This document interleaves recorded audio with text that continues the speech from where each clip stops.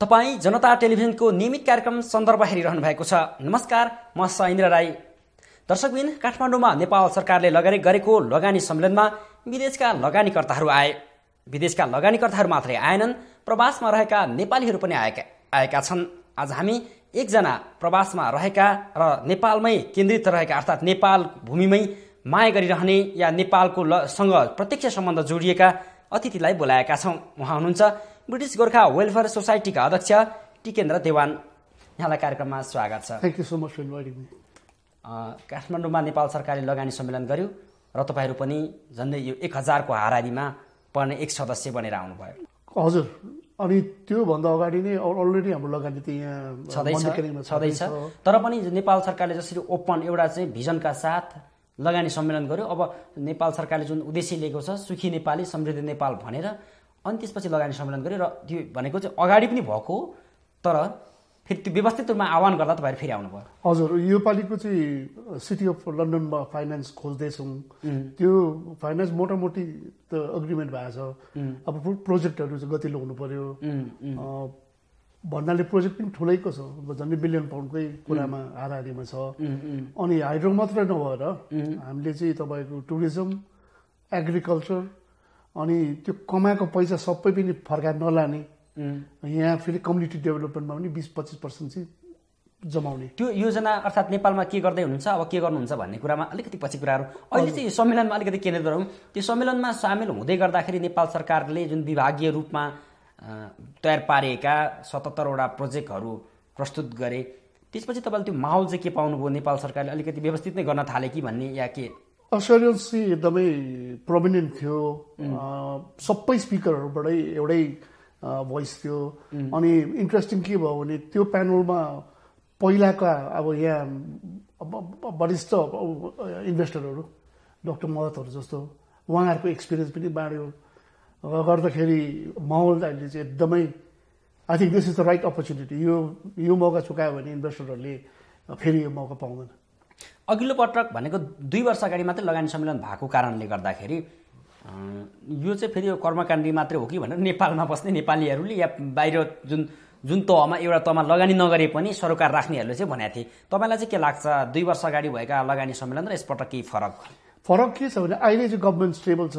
गभर्मेन्टको स्टेबिलिटी छैन भने त इन्भेस्टरहरू आउँदैन नै। किन अब इन्भेस्ट भनेको त धेरै रकम हालेको हालेको हुन्छ। त्यसको सुरक्षा पनि चाहियो नि। तर अर्को चाहिँ तपाईँको के छ भने एकतिर इन्भेस्टमेन्टको त्यो माहौल बनाइदिनु भएको छ सरकारले भने। अरू यहाँ हेर्दाखेरि जस्तो हिल्टन मेरिटहरू बनिनेछ नि। त्यो पनि एकदमै पोजिटिभ साइन हो। किन होटलहरूले त्यो दस बिस वर्षको हिसाब गरेर मात्रै जमाएको हुन्छ। र इन्ट्रेस्टिङ के छ भने चाहिँ ब्याक प्याकरकै भरमा बेसी हिँड्थ्यौँ होइन हामी। तर अहिले चाहिँ हाई बजेट टुरिस्टहरू पनि आउनु सुरु गरेको छ which is a very good sign भनेको चाहिँ यो जसरी टिप्पणी भइरहेका थिए अलिक नगा केही पनि फरक छैन भन्ने कुरामा चाहिँ धेरै नै फरक जस्तो सरकारले अरू अर्को कुरा के पनि हो भने सरकार स्थिरता बन्यो तपाईँले स्थिरतालाई आधार त भन्नुभयो। तर पुरानै पात्रहरू छन् परिवेश मात्रै फरक हो भन्ने छ नि फेरि। अब आँट्नु त आँट्नु पऱ्यो किन नो रिक्स नो गेन भने जस्तो हो। तर के हुन्छ भने सरकारकै चेन्ज भए तापनि हामी त साइन्ड अप कन्ट्र्याक्टमा हुन्छौँ।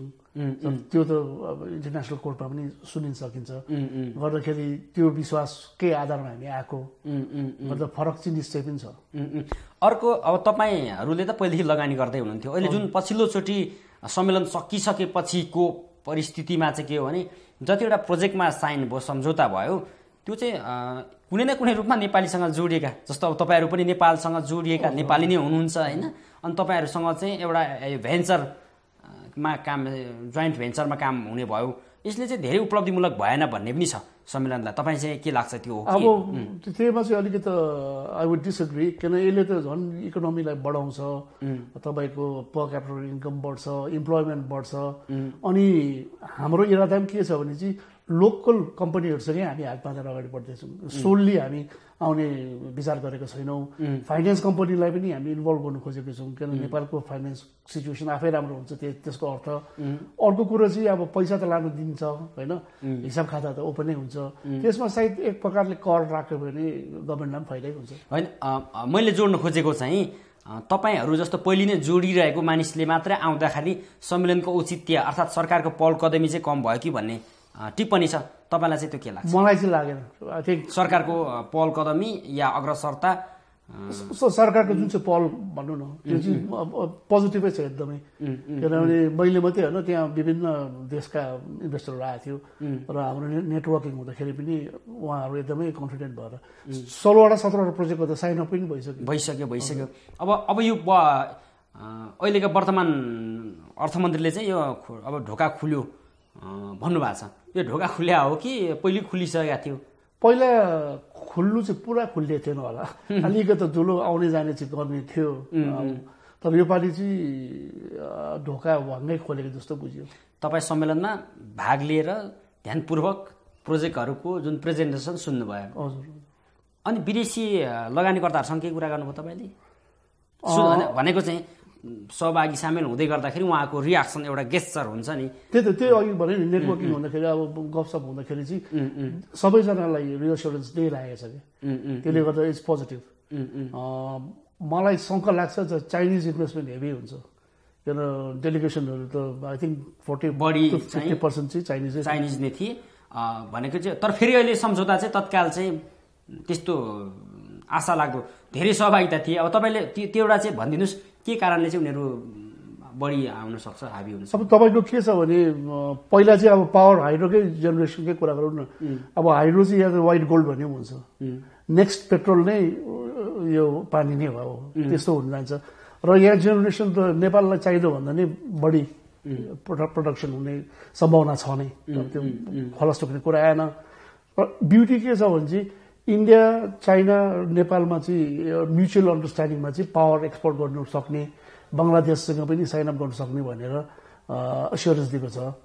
त्यसले गर्दा पनि इन्ट्रेस्टेड भएको यसको अर्को कमजोर पार्ट हो चाहिँ तपाईँलाई के लाग्छ तर नेपालकै अर्थशास्त्रीहरूले अरूले पनि कुटनीतिक पहल चाहिँ कमजोर भयो कि यो सम्मेलन हुँदै गर्दाखेरि छिमेकी राष्ट्रका सरकारी निकायका प्रमुखहरू या सरकारी निकायका कुनै न कुनै अथोरिटी आएर सामेल भइदिएको भए झन् बेटर हुन्थ्यो भन्ने आई आई थिङ्क त्यसको त्यो सेपरेट टाइपको यो त इन्भेस्टर्सहरूलाई what Nepal has to offer भन्ने हो। अब गभर्मेन्ट आएर अस्योरेन्स दिनु त अप्ठ्यारो पर्छ। नेपाल गभर्मेन्ट नै सोल प्लेयर हो होइन? देश नै अब नेपाल सरकारले चलाउँछ। त नेपाल सरकार नै इन्भल्भ भएको भनेको सही कुरो यो कुटनीतिक अपरिपक्वता भन्ने कुरामा चाहिँ तर्क देखिँदैन। देखिँदैन। अर्को चाहिँ यो नेपाल सरकारले भनेको नेपाल सरकार चाहिँ दुई एउटा वाम सरकार छ होइन?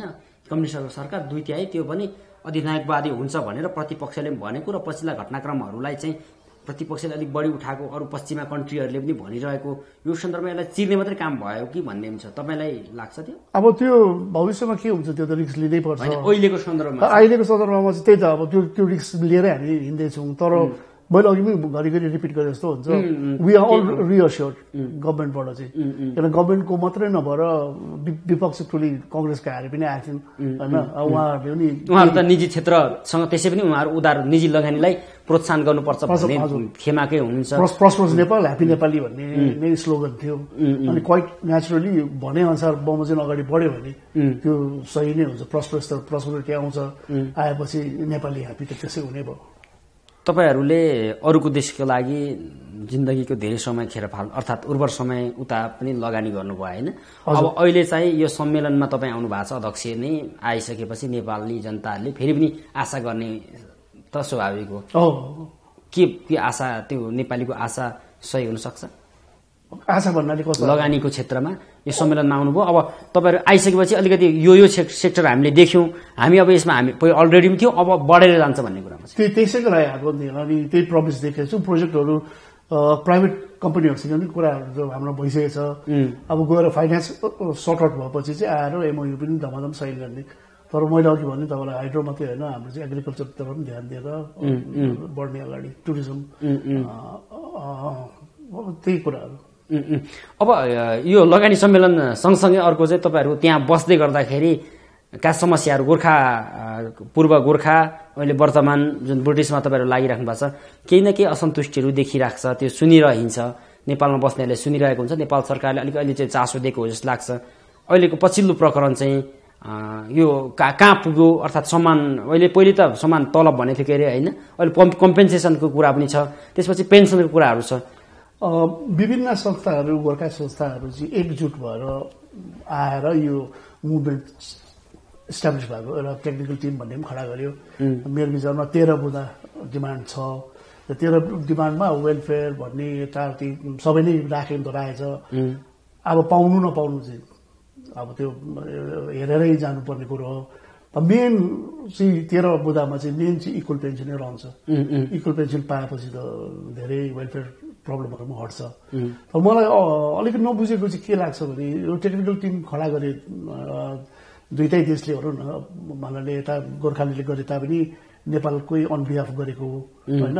अनि राजदूतवास महामन्यम डक्टर सुविदे पनि टोटली इन्भल्भ भएको मोडरेटरको मोडरेटरको काम पनि गर्नुभयो। अब ब्रिटिसले त इन्डाइरेक्टली फिनिस्ड भनेकै जस्तो बुझ्यो है? अनि अहिले पार्लिमेन्ट कमिटी खडा भएको छ। नेपालमा। तर why was that not firm त्यो आउने बित्तिकै त्यो कमिटी त खडा हुनुपर्ने जस्तो लाग्छ। हामीले त सम्झेको थियौँ कमिटी खडा भइसकेको छ र बातबार्ता भयो भन्ने। तर अहिले हेर्नु अलिकति यो कुरा बुझिएको छैन र हामी फर्केपछि मिटिङ पनि हुनेछ अनि राज्यद्वारा पनि हामीले नेपालको दृष्टिकोण के छ? भनेर चाहिँ पक्कै सोध्ने नै छौँ बसेको अहिले पछिल्लो चोटि चाहिँ अलिकति भर्ती सङ्ख्या पनि बढाउने लगायतका एउटा प्याकेज सामान प्याकेज जुन ब्रिटिस सरकारबाट पनि बाहिर आएपछि यहाँ अलिकति बढी विरोधका स्वरहरू चाहिँ पूर्व गोर्खाहरूकै समूहहरू विभिन्न समूहहरूबाट आइरहेको छ यो चाहिँ कतिको कताबाट सर्ट आउट तपाईँको आफ्नो आफ्नो विचार हो हेर्नुहोस् है अब डेमोक्रेसीमा आफ्नो आफ्नो पोइन्ट राख्नु पाइन्छ हक छ तर मलाई चाहिँ के लाग्छ भने चाहिँ अलिकति सेल्फिस जस्तो हुन्छ। हामीले चाहिँ अब नोकरी गऱ्यौँ अब सक्यौँ अब पेन्सन पट्टि लागेर अब लड्दैछौँ नि। र अहिलेको भावी गोर्खालीलाई त इक्वल टर्ममै छ। सरबर सबै इज नो डिफरेन्स अब त्यस्तो कन्डिसनमा हाम्रो मान्छेले जागिरी पाउँछ भने किन रोक्ने भन्ने कुरो अनि जागिरी त भलन्टियर हो। जबरजस्ती घर घर लाने कुरा आएन। तर हिजोको सो हिजो चाहिँ हामी शोषणमा परेका थियौँ। यस कारणले गर्दाखेरि अहिले हाम्रो माग पुरा नगरिकन चाहिँ फेरि यिनीहरू पछि कुनै न कुनै रूपमा शोषणमा पर्न सक्छ भन्ने आशंका शोषण पर्दैन कुनै हाम्रो अहिलेको ट्रिटी नै तपाईँको कन्ट्राक्ट टर्म नै टोटली चेन्ज भइसकेको छ। यो मात्रै नभएर तपाईँको ब्रिगेड अफ गोर्खासमा पहिला चाहिँ वञ्चितै थियो यो कुरो ट्रान्सफर हुने। Rest of the British arm फोर्समा नि अब गोरा पल्टन भनौँ न सहज भाषामा तर अहिले जुन जसले चाहिँ असन्तुष्टि नभएर एउटा मुभमेन्ट क्रिएट गरिराख्नु भएको छ उहाँहरूले के भन्छ नि अहिले भइरहेको कुरा पनि हामीले गर्दा भएको हो। अब त्यो अब अब हामीले फेरि बोलेनौँ भने फेरि पनि चाहिँ आउनेवाला पुस्तालाई फेरि यिनीहरूले जसरी ब्रिटिसले यो सुगोली सन्धिपछि यताका यो यति लामो समय हामीलाई शोषणमा पार्यो अप्ठ्यारोमा पार्यो अमानवीय नै भन्नुहुन्छ उहाँहरू होइन? अमानवीय गतिविधि भने जुन आन्दोलनमा हुनुहुन्छ उहाँले अमानवीय गतिविधि अमानवीय व्यवहार गर्यो यसलाई हामी नरोकी छाड्दैनौँ भन्ने छ। फेरि तपाईँहरू फेरि एक अर्को तपाईँले के भन्नु होइन यता त जागिरको कुरा पनि त छ नि नेपालीहरू जागिर पाएको छ। त्यो त मेरो दृष्टिकोणमा थियो। अब मान्नु नमान्नु त आफ्नो आफ्नो जग्गामा छ। मैले बुझ्दाखेरि चाहिँ अब त्यो माइग्रेन्ट लेबर भएर एरबतिर बिजोग भएर बस्नुभन्दा त्यो त एउटा सामान्य काम नै हो नि त। जागिरी एउटा पुर्खाले राखेको नाम छ गोर्खा। त्यसमा त केही आपत्ति त देख्दिनँ म चाहिँ। किनभने चार सौ यहाँ रोक्नुको अर्थ इन्डियन आर्मीमा पनि त रोक्नु पर्यो सहज सहज कुरा गर्छ भने अब नेसनल प्राइडको कुरा आउँछ। अहिले त तपाईँ जुन हिजो रूप एउटा ब्रिटिस आर्मी भएर जानुभयो अहिले साउदी अरब जाने पनि काइन्ड अफ एक खालको कुनै न कुनै बाध्यतामा।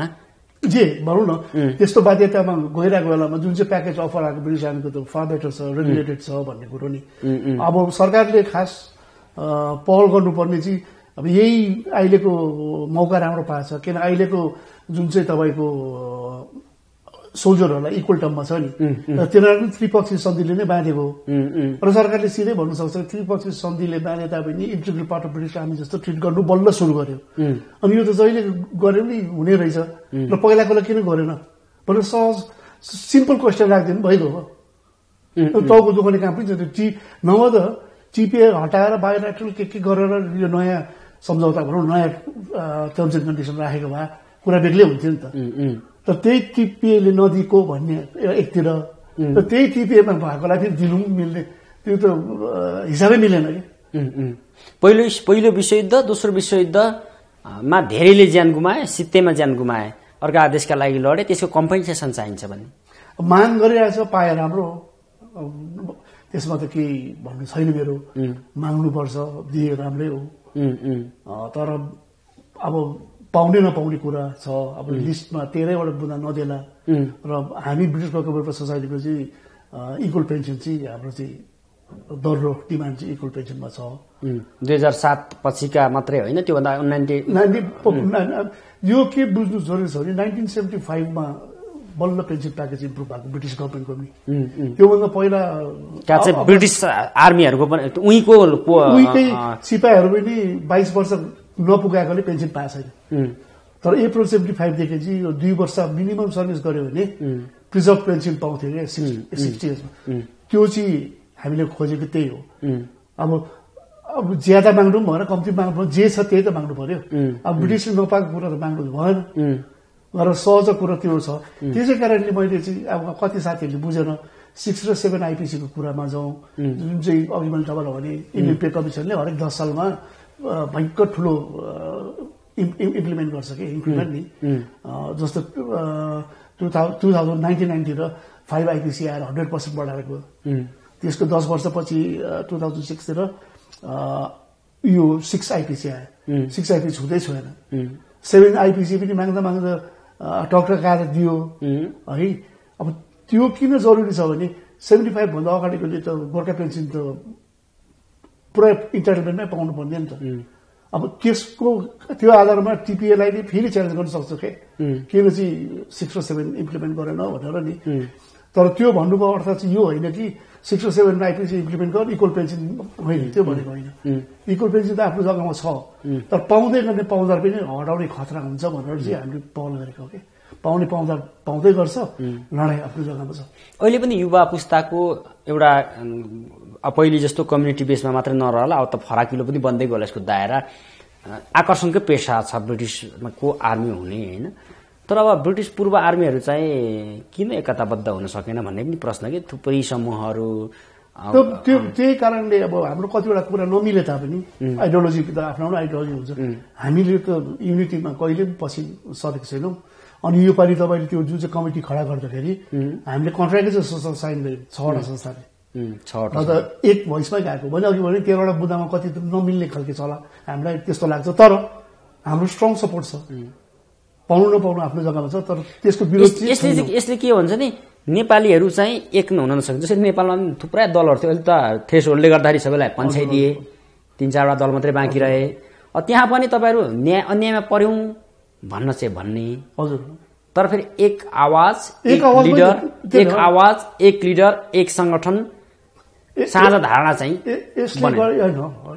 त्यो त्यो गल गल्ती हो। अहिले तपाईँको यो टेक्निकल कमिटी रिपोर्ट भन्नुको अर्थै सबै संस्थाले सिग्नेचर गरेको। अनि कुनै संस्थाको लिडर अगुवा भएर आएको छैन त्यही कारणले टेक्निकल कमिटी भनेर फाल्टो मान्छेलाई राखेको छ कि अनि त्यसमा फेरि मिडिएटर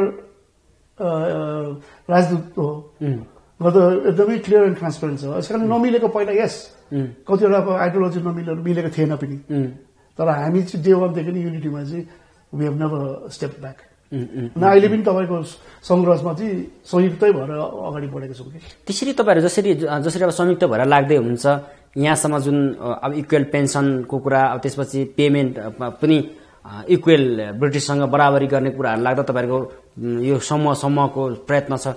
नेपाल सरकार चाहिँ यो बिचमा कहाँ छ? कहिलेकाहीँ हाम्रो सरकार कहाँ छ भन्ने खोज्नुहुन्छ हुन्न? अब सरकार नै इन्भल्भ भएको जस्तो पार्यो यो पालि हेर्नुहोस् मैले अघि भने र हामीलाई ठुलो आशा लागेको थियो। अब हाम्रो दुःख अब तेह्रवटा बुँदा उनीहरूले हेर्नुपर्ने होइन?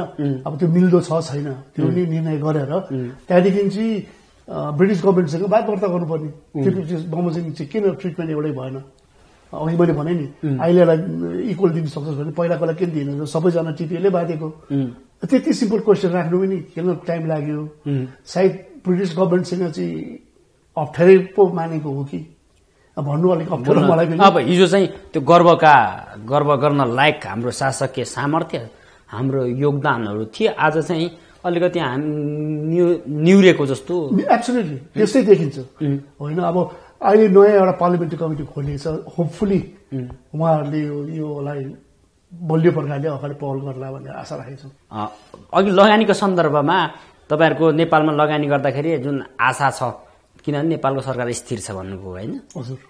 अब अब अब अब चाहिँ जसरी नेपालमा तपाईँ लगानी गर्दाखेरि यो स्थिर सरकारप्रति आशावादी हुनुहुन्छ तपाईँहरूको हक हितका लागि अर्थात् नेपालीहरू ब्रिटिसका लागि लडिरहँदाखेरि तिनीहरूको लागि पनि त्यत्तिकै सेक्युर अर्थात् त्यस्तै अनुभूति भएको छ त्योभन्दा अलिक बढी बढ्नुपर्ने हो यो त आफ्नै नागरिकतालाई हेपाइ भइरहेछ नि। नागरिकतालाई मात्रै हेपाइ नभएर देशलाई पनि हेपेको जस्तो देखिन्छ नि। यो it's more serious than the investment seminar के तपाईँसँग छुट्टै तपाईँले छुट्टै भेटेर हामी त हाम्रो देश बनाउनलाई हामी त लाग्यौँ। हजुर हजुर। तर हाम्रो पनि समस्याहरू छन्। तपाईँहरूले हाम्रो सेक्युरिटीको लागि हाम्रा यस्ता यस्ता चाहिँ हाम्रा मागहरू छन्। उहाँहरूले उनीहरूले हामीलाई अझै पनि यो यो कुरा चाहिँ पुरा गर्न सकेछन्। त्यो थ्री पार्टी कमिटमेन्ट होस् या अनेकन। हजुर। भनेर यसबारेमा तपाईँले के भन्नुभयो व्यक्तिगत? अब अब किन भने सेन्ट्रली आयो रिपोर्ट। पर विभिन्न संस्था गएर कोटाउनु अघि तपाईँले भनेको बेग्लै देख्ला है?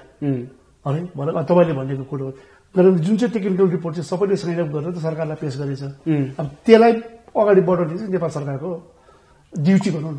सरकारले चाहिँ अलिकति बढी पहल कदमी लियो तत्परता देखायो भने नेपाल सरकार त्यो ड्युटी पुरा गर्यो भने तपाईँहरूको पनि एटलिस्ट रिस्पोन्सिबिलिटी निभायो भन्ने कुरो हुन्छ नि। बोल्दै नबोलेर बस्दा त अलिकति ब्याकडोरबाट पछिल्लोचोटि अलिअलि त खुसी हुनुभयो होला किनभने संसदीय समिति बन्ने संसदमै सांसदहरूले चाहिँ एब्सोल्युटली एब्सोल्युटली त्यो रियोस्योरेन्स भयो नि।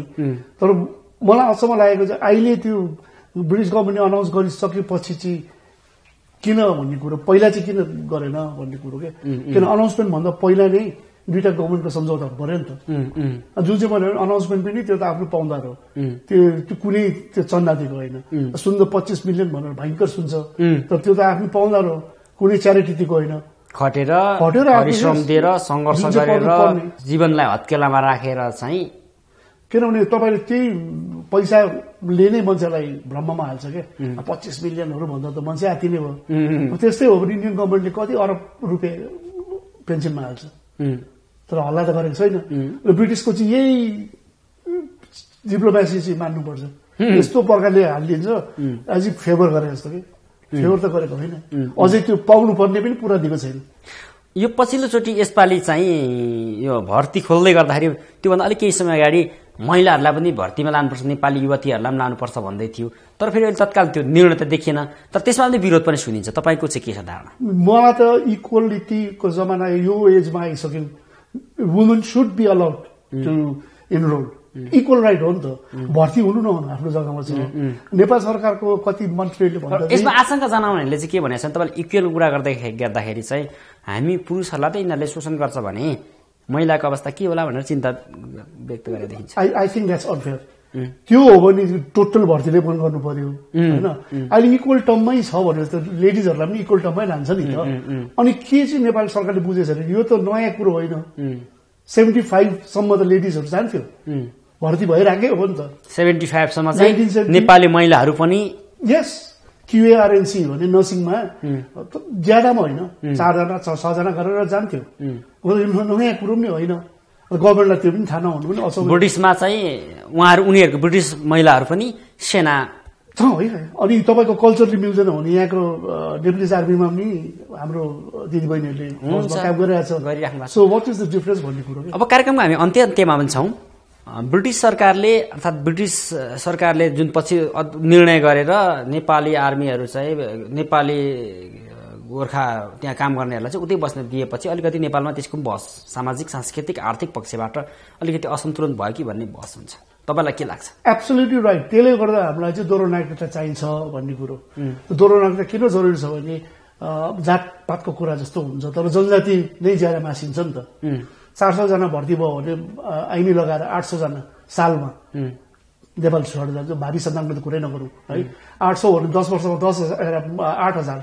नेपालमा त गाउँ चार पाँचवटा गाउँै दिन्छ नि। त्यसले गर्दा हामीले अहिले पनि नेपालका त पूर्वी पहाडहरू शून्य शून्य जस्तै तपाईँ धरान झर्नुभयो. दार्जिलिङ जानुभयो होला त्यसपछि ब्रिटिस जानुभयो होइन? उतै बास बस्नु त्यही। बाटो हो।